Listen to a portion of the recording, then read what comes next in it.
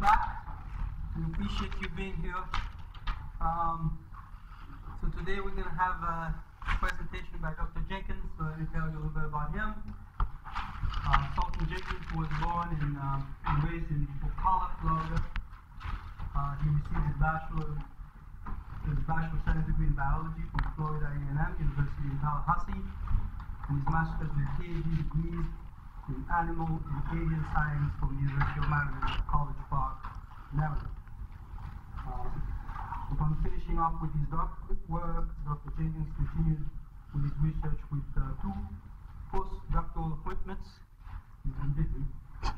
Uh, Dr. Jenkins first worked at the uh, Lombardi Comprehensive Cancer Center on the campus of uh, Georgetown University in Washington, D.C., where he studied the signaling, signaling pathways that are responsible for the pathology of uh, glioblastoma, Multiforme. multiforme, Yeah. a type of brain cancer.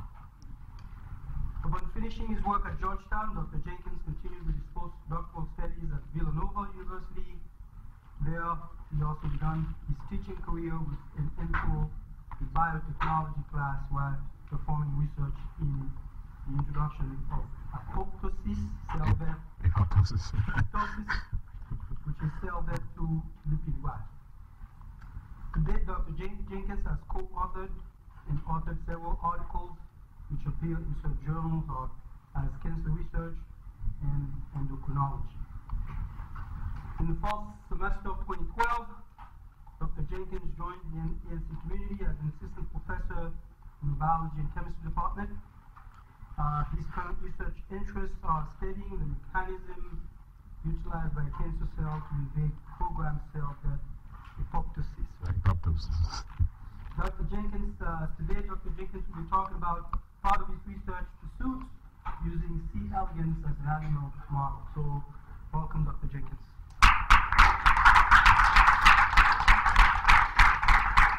Um, thank you all for coming. I'm so glad to see a good percentage of my students here. Uh, I guess you guys want the extra credit badly enough, so you decided to sit, sit with me for an hour. So today, um, I'm going to present um, some research that's been done, not by me personally, but by others in a field that I'm very interested in establishing here um, in the biology department. Um, so I'm going to talk about how an animal model called C. elegans is uh, used for the study of obesity in human beings. Right. So, sure most of you know that in our country, there's one third of the American population are overweight.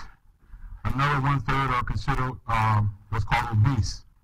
Okay, so combined, 68% of the American population are overweight and obese. And actually, obesity carries, carries with it certain health risks, such as uh, heart disease, cancer, um, heart attacks, um, and other, other types of diseases. So obesity is a contributing factor to five out of the top 10 deaths um, that occur in our country. Also, obesity carries with it a high cost risk. Okay?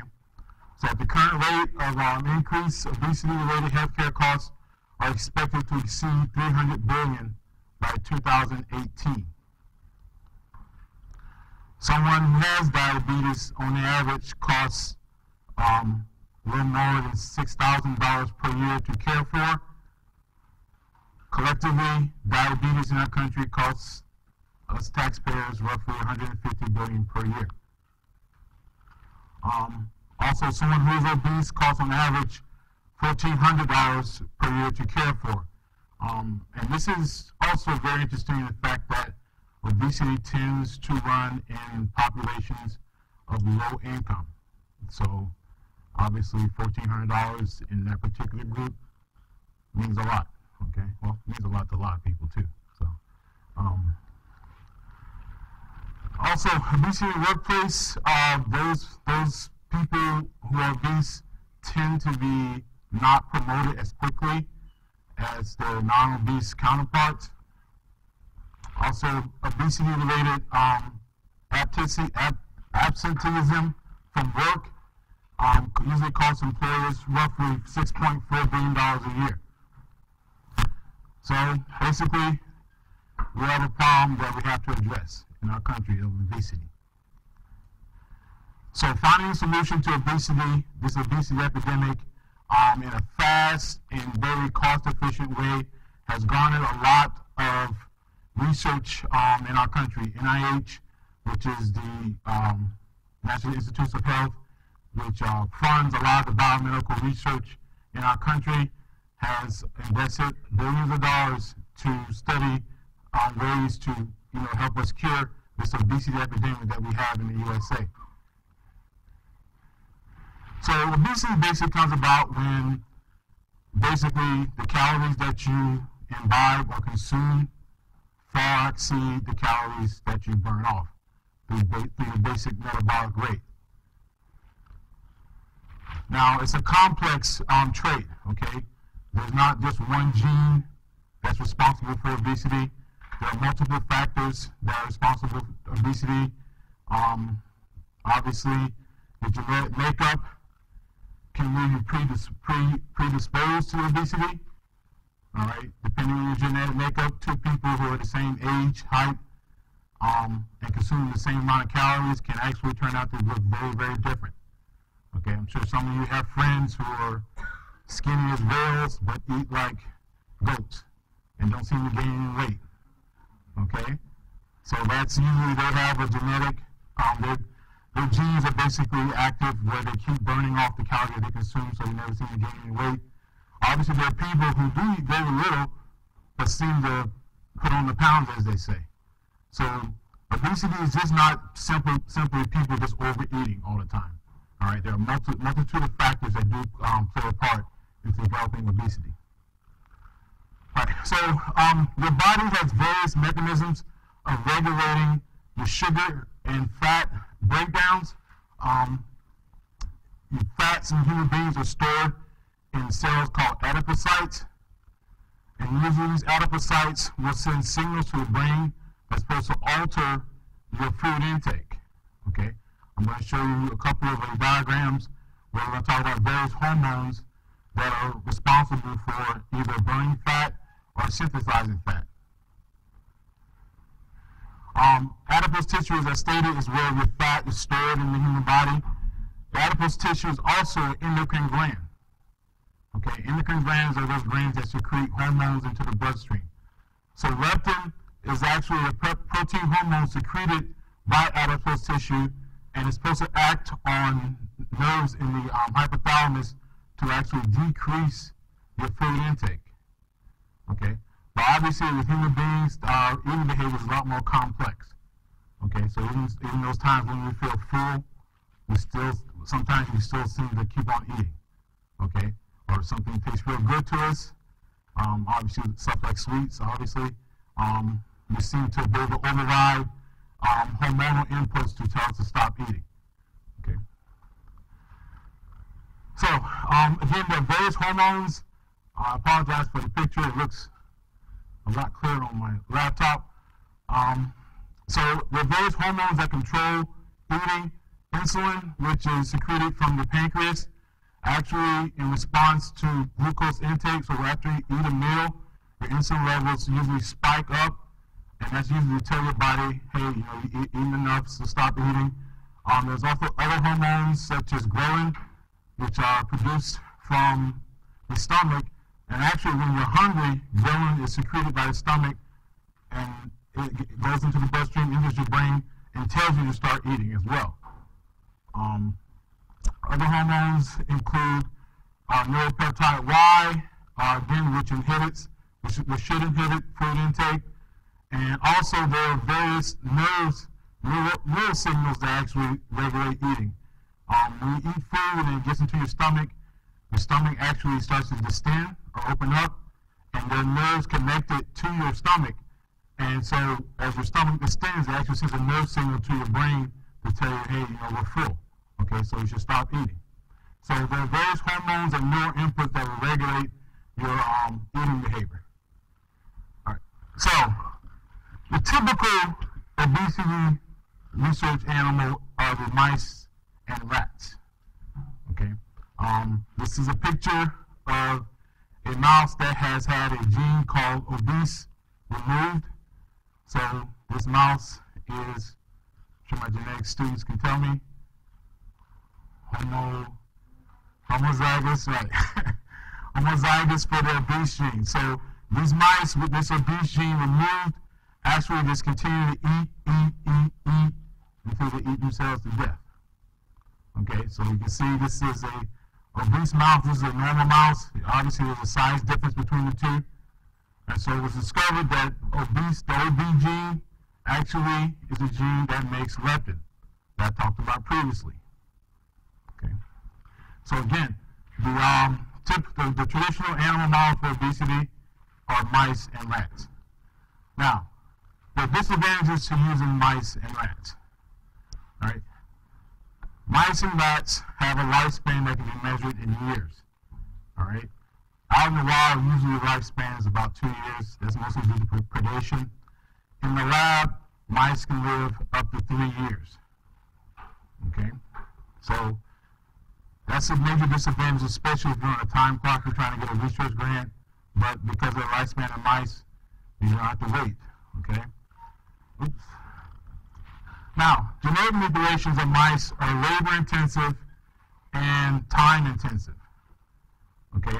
It can usually take up to a year to make a gene knockout line of mice, and this can actually cost you tens of thousands of dollars to do. And this is just for one gene. And so mice have tens of thousands of genes, so if you're studying multiple genes, you can see how that cost can add up. So I'm sure most of you probably wondering what the heck is on the back of this mouse. Yeah, it's an ear. but actually, um, mice are um, often um, mutated so that their immune system don't reject tissue. So these are called mutant mice. So their thymus is being removed, so they don't have a functioning immune system.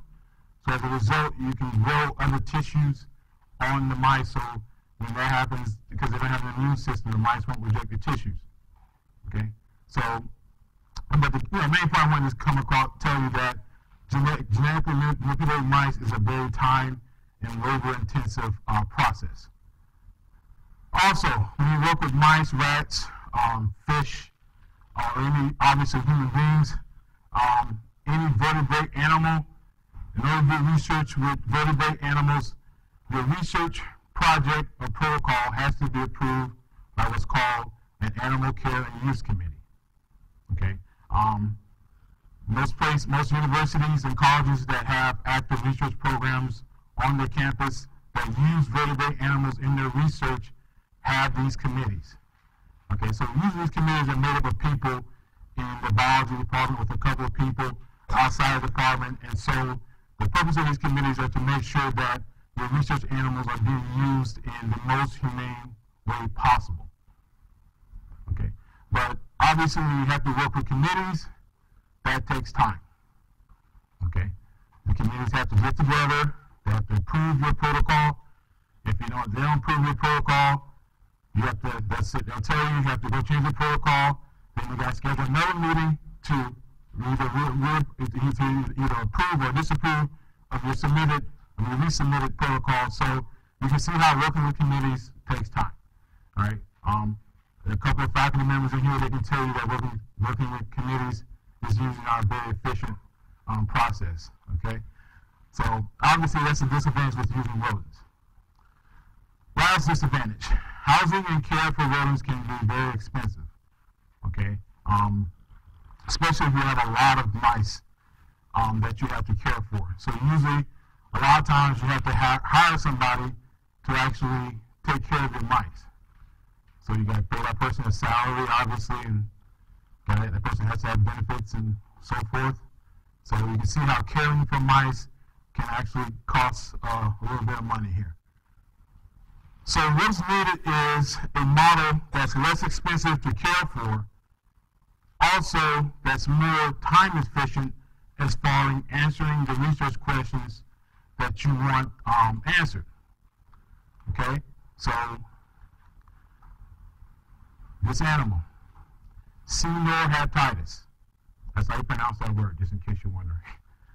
C Caenorhabditis elegans, or most commonly called C. elegans, all right, is the research model that um, that I hope to use here. Also hope to um, again start a research program here on campus. So C, the C. elegans will reduce. This hope, hopefully reduce the time that's required to study various research questions. Also provides a very inefficient model to um, to study various biological processes.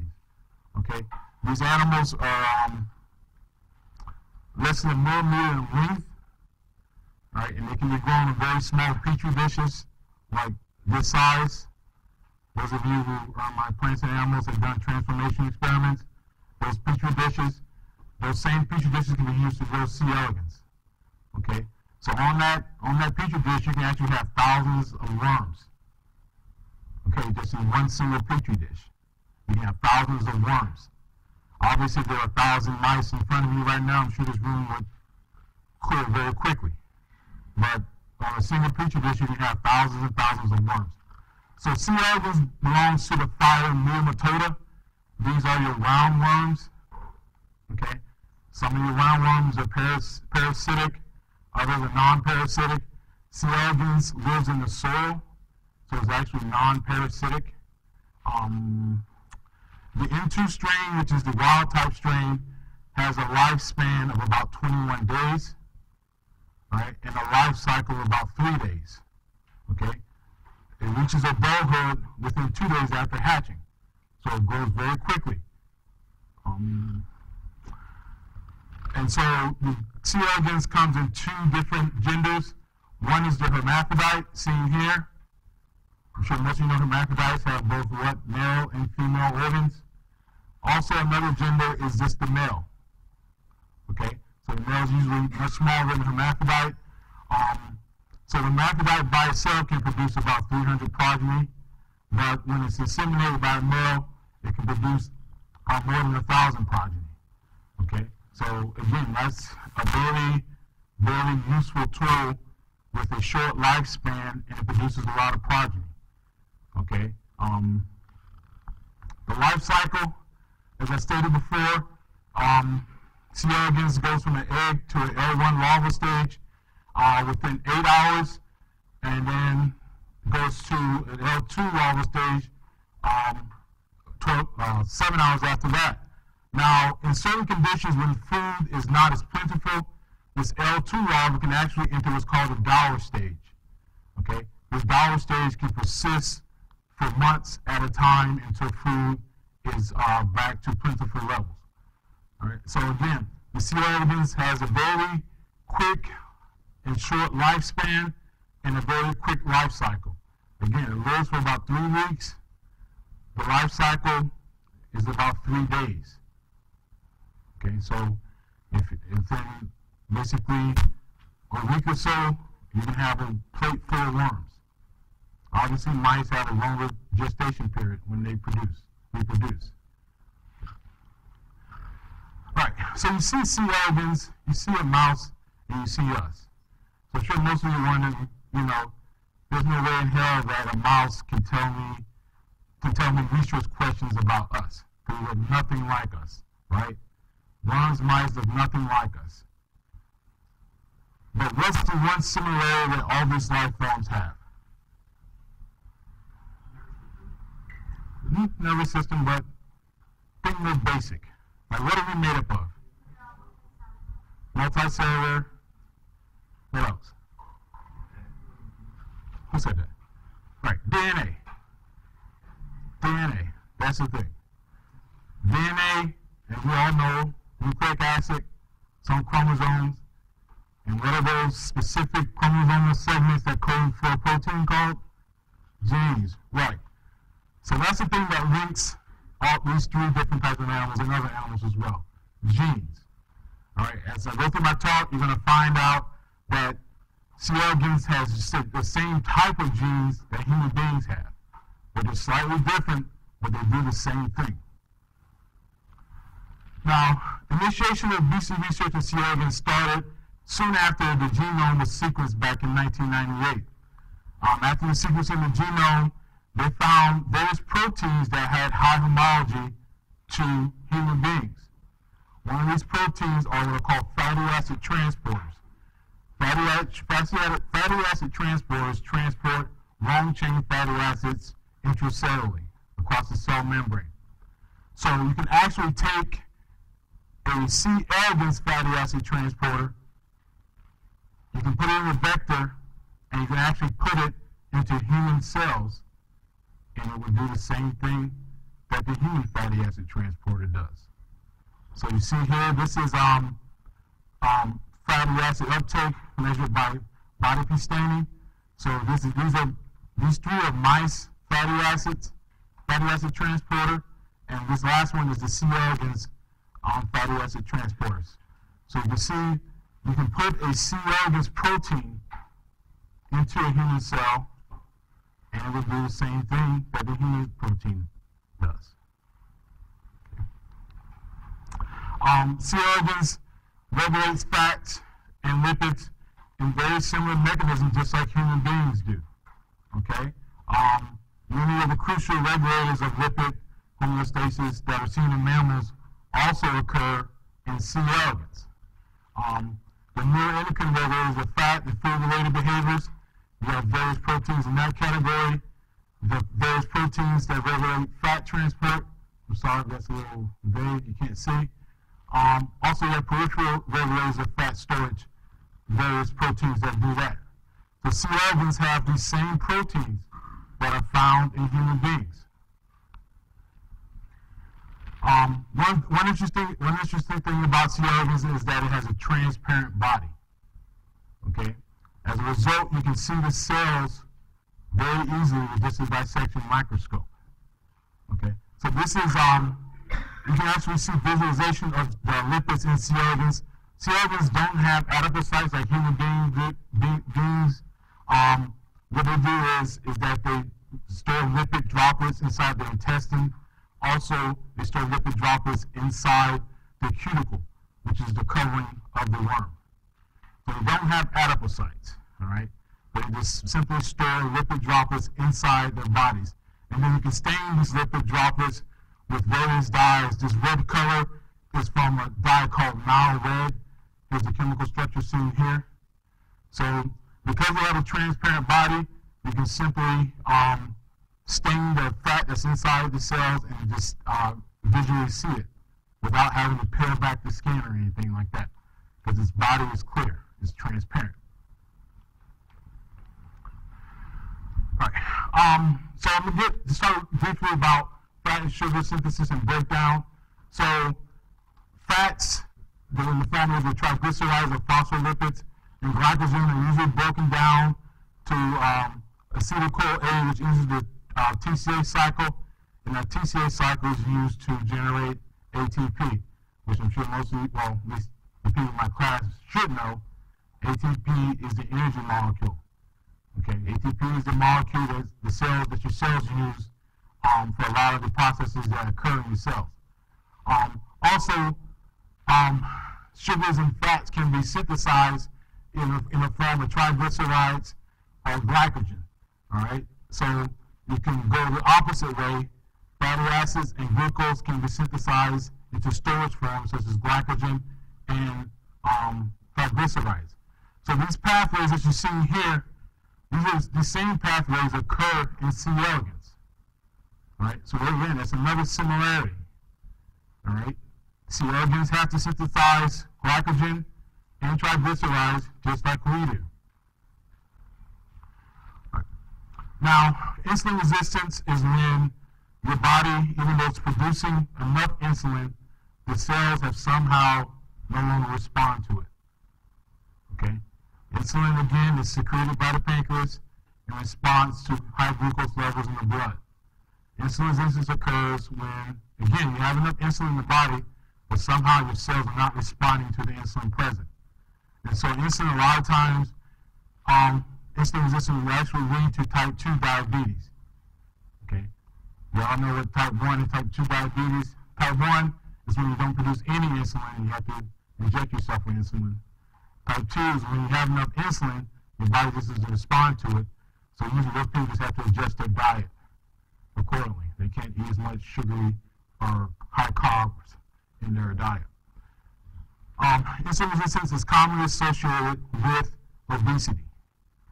Okay, you produce so you, you basically as you as your fat cells increase, the insulin mechanism inside your body no longer responds because you become basically desensitized to insulin, and that's where insulin resistance comes about. Okay. Right. So one of the major pathways that are related to obesity that have been studied in C is the insulin signaling pathway. Okay, so on the left-hand side is the pathway in C. elegans. On the right-hand side is the pathway seen in mammals. Okay, so there's a high degree of conservatism between the mammals and C. elegans as it relates to insulin signaling. Okay, um, when you mutate the insulin receptor, which is DAF-2 in C. elegans, this causes C. elegans to accumulate fat more. All right, so there's that um, red stain that I showed you earlier. In DAF-2 mutants, this accumulates to a higher degree.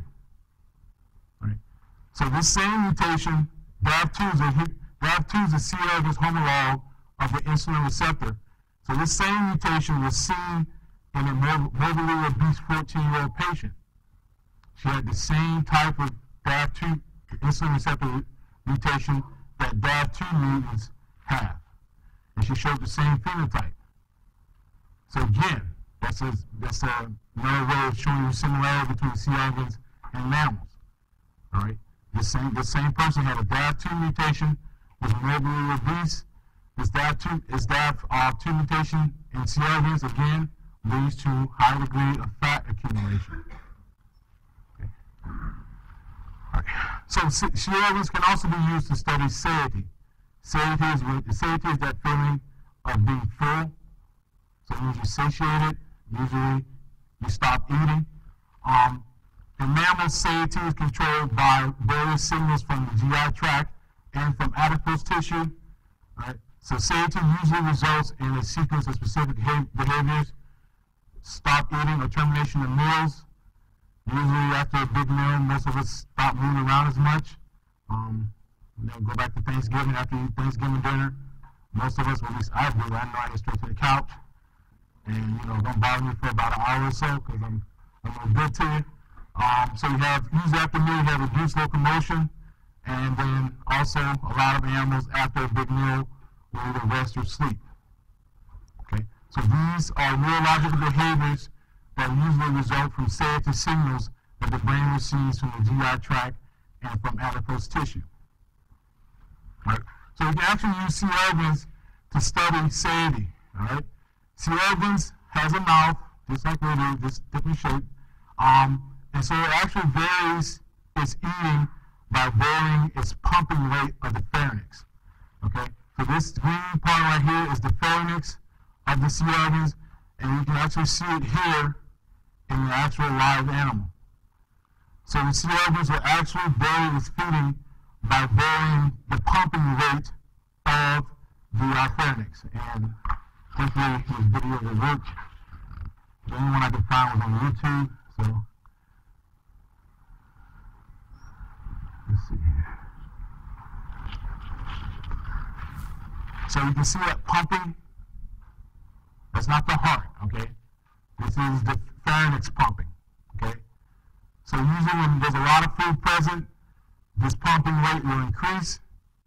And then when there's little to no food present, um, I don't know why it goes to that, but it just does. Right. But when there's little to no food present, um, it still pumps, but doesn't just it doesn't pump just as fast. Okay. So you can again use say you can use C. elegans to study satiety, right? So quiescent behavior again is associated with the stopping of food intake, and this has been studied. This has been um, equated in the high species. So this this worm right here is just now moving, but you can study quiescent behavior. Um, basically, what you do is you fast the worm for 12 hours, and then you put it on a plate with no bacteria. I'm sorry, I forgot to mention, worms feed on bacteria. Okay, they just eat bacteria. So This worm is, was starved for 12 hours and then allowed to refeed for another three hours after we feed, see if the worm is satiated. And satiated is basically when it doesn't move for 10 seconds or more. Okay, so now this worm is starting to move after 10 seconds, so it's considered satiated. All right. All right. Um, so again, quiescent behavior is again associated with cessation of food intake, and this has been studied in sea urchins and also higher animals. So quiescence can actually be induced by feeding sea urchins what's called high quality food. Okay, so you're probably asking if they eat this bacteria, what's considered high quality bacteria? Right. High quality bacteria is basically bacteria that reproduces at a quicker rate.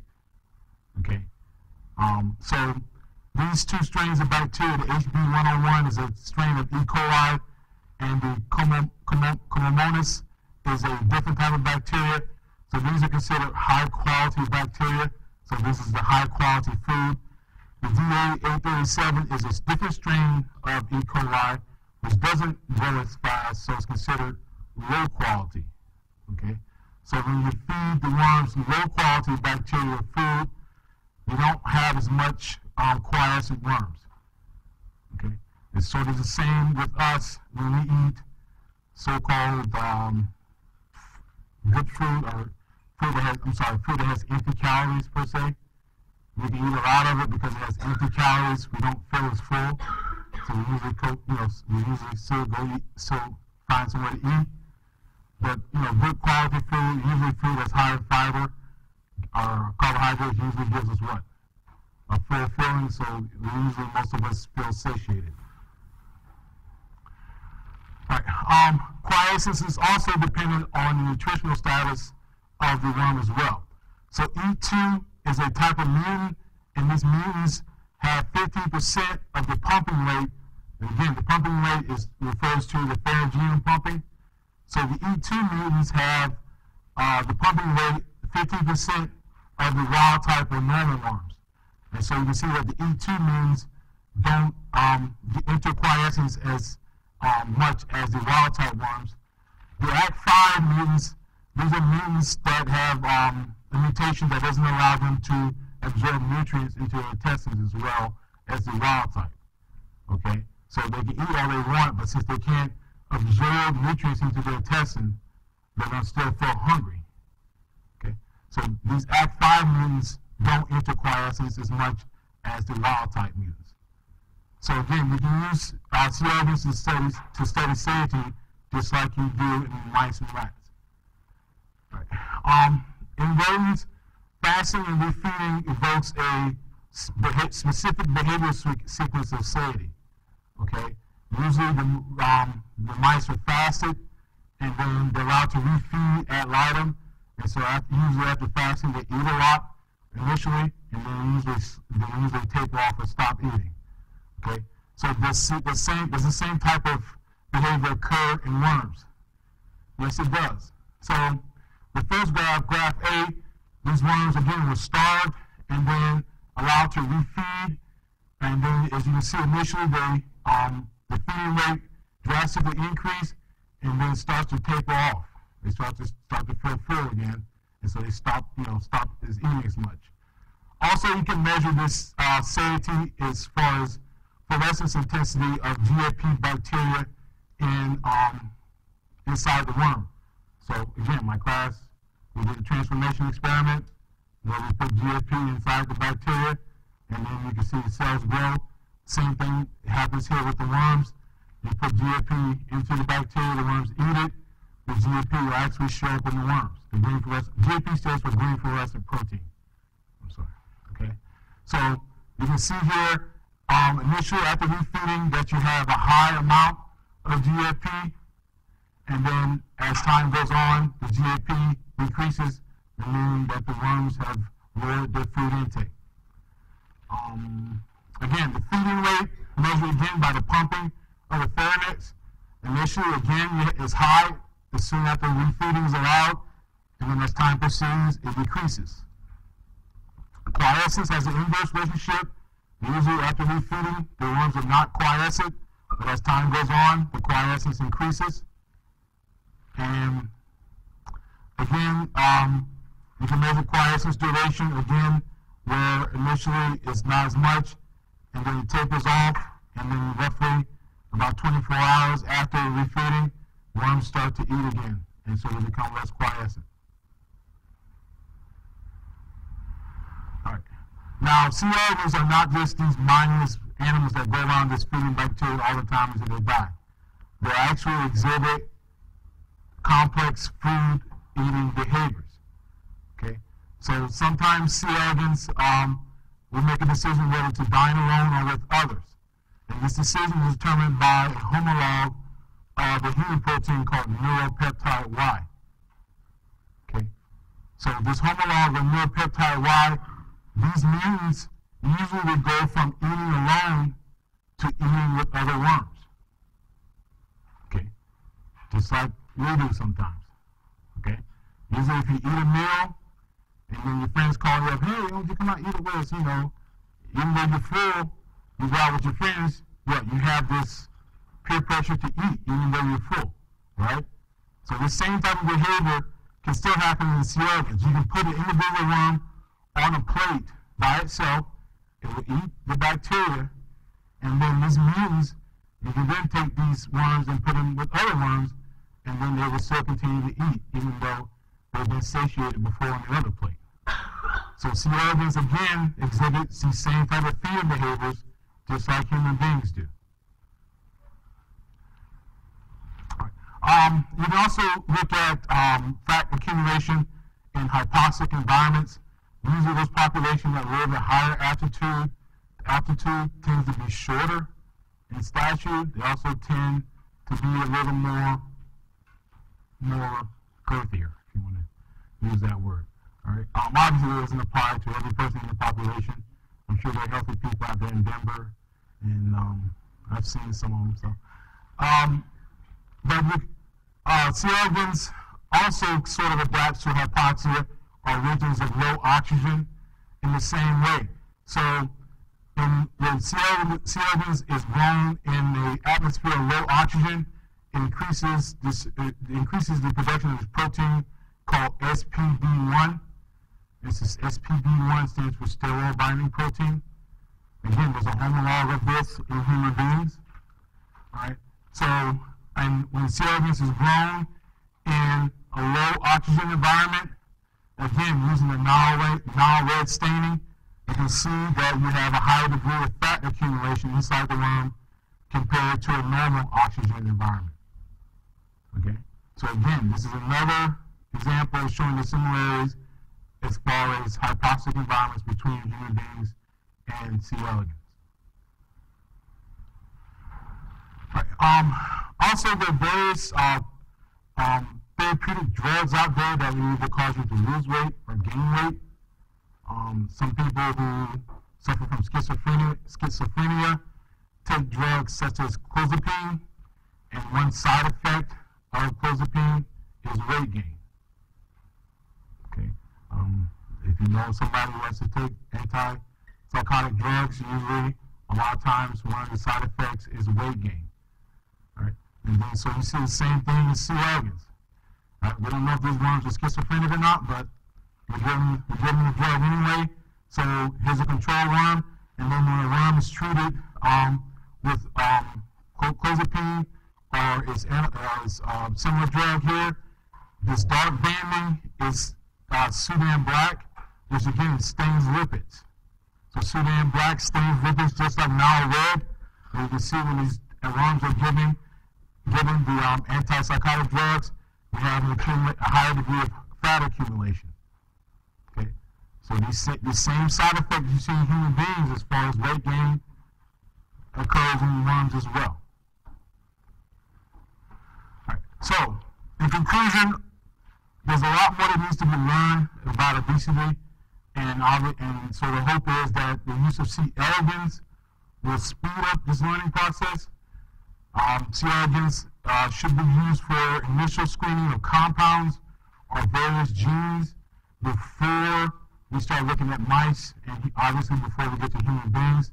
And so this, this, this use of C. elegans as, far as obesity research, should hopefully shorten the time period between um, hopefully discovering um, new drugs or new ways to help fight obesity. Um, again, C. elegans is a tiny worm. It's not, since it's not a vertebrate, you don't have to have a committee meeting before using it. Okay? You can grow them at your, grow them at your leisure, and then you can just kill them without somebody knocking on your door saying, why did you kill the worms? So, um, so C. elegans also has a short lifespan and reproduces quickly. Again, this will aid in uh, speeding up research projects.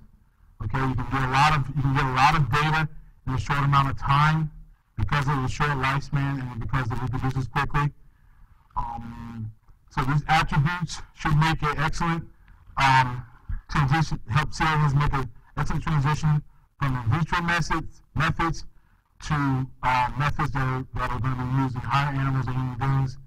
Um, also, human, and also, C. elegans is a lot cheaper to maintain. Again, you can grow thousands of worms on a small petri dish. They simply eat bacteria, which don't cost a whole lot, and um, you don't need a special special housing facility to house the worms. Okay, so for those of you who will be seniors, if you make it out of my class, um, if you think of research projects, um, this I'm basically actively recruiting students to uh, perform various research projects using C. elegans. Um, those of you who have who BS majors, I believe, have to do a research project. Um, if you just want to do a research project just do one, you can still come see me as well. Okay? So I'm hoping to have this started up by next fall, um, and hopefully by next summer, I'm hoping to get some money so I can have a summer internship program as well. Uh, don't hold me to that, but that's my hope. So thank you, and I'll try to answer any questions that you may have.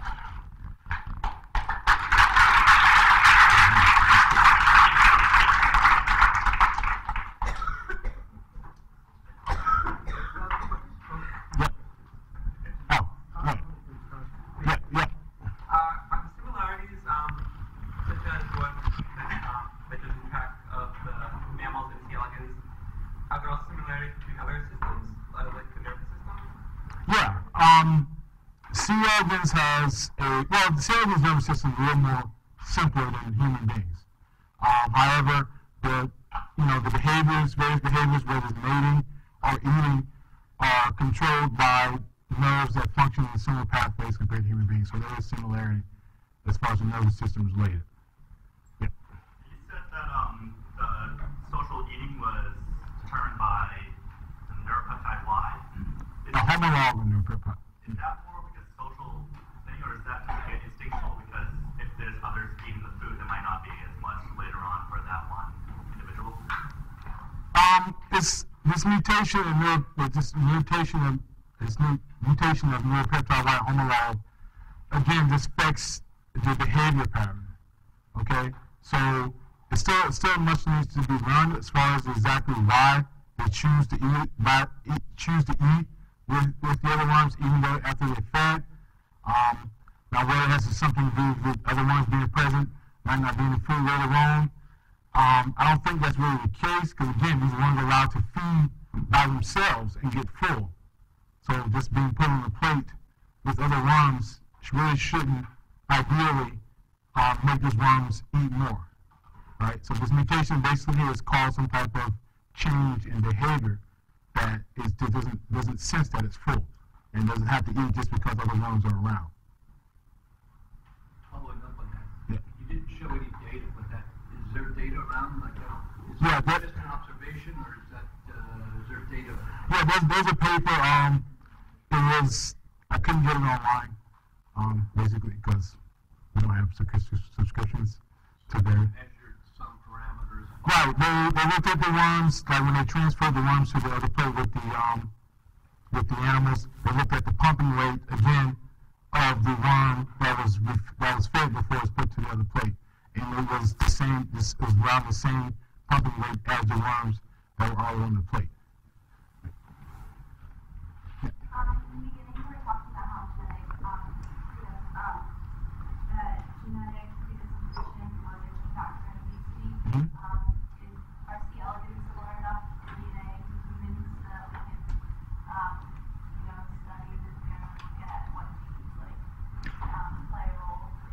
I mean, the, the DAF-2 mutant that I mentioned earlier, that mutant, again, accumulates fat to a higher degree than normal mutants.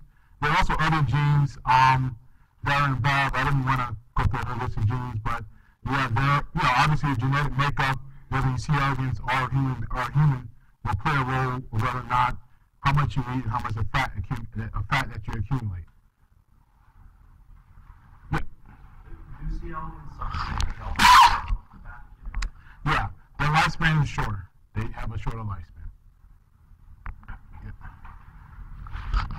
And also, dep- sorry, also depending on the mutation, um, some of them have reduced reproducibility. They don't produce as many eggs as well. Yeah. Is there a circulation where you have a circulatory system? No, their roundworms don't have circulation like we do. Yep. The, uh, hermaphrodite, the chance of getting progeny was only the, uh, DNA from hermaphrodite that propagate in the genetic prediction that you make. I mean, you don't really know which, which genes are going into product if you have that one or two generations, you don't really know.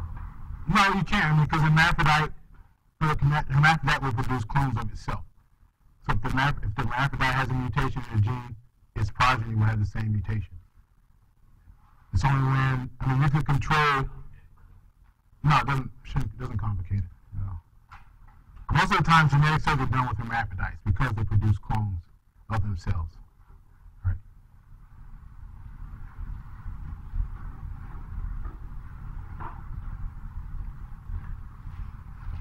So you were saying that you're transparent. Right. The fact that you're transparent is something you can observe live.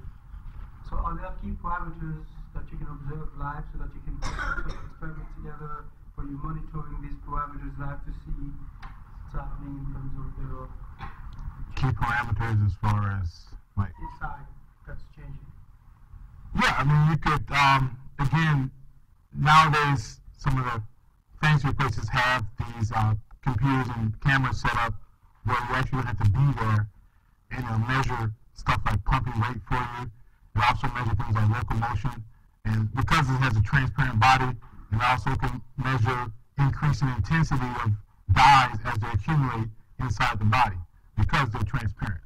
So basically, you just put the worm on a plate, put it underneath the camera. There's software that will actually trace the outline of the worm.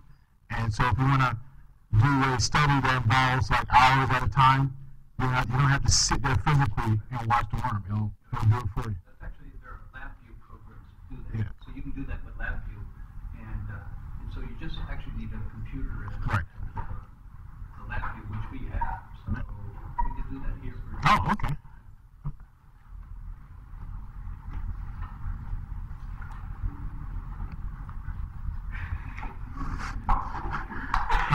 You.